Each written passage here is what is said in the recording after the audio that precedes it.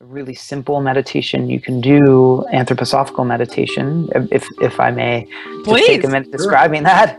Is uh, you know, take an object, um, a very simple, find a simple object, a, a, a thumbtack or a pencil, something without a lot of parts, you know, something very everyday and kind of boring to you that you Mhm. pass over many times.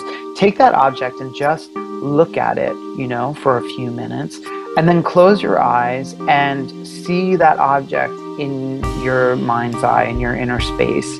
Turn it around, feel it with your sort of inner hands, look at its contours, and then, and then if you must, you know, you can think about uh, where it was made, where the components came from, its shape, what you would do with it, even the letters that compose the word that name it, any of that kind of stuff.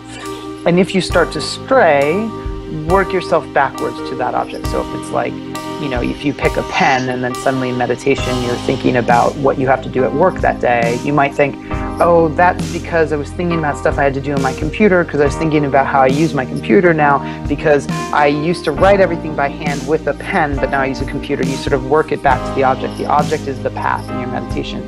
Do that every day, as boring as it sounds. Do that every day for a month, you know, for five minutes a day. And suddenly something kind of remarkable might happen. Um,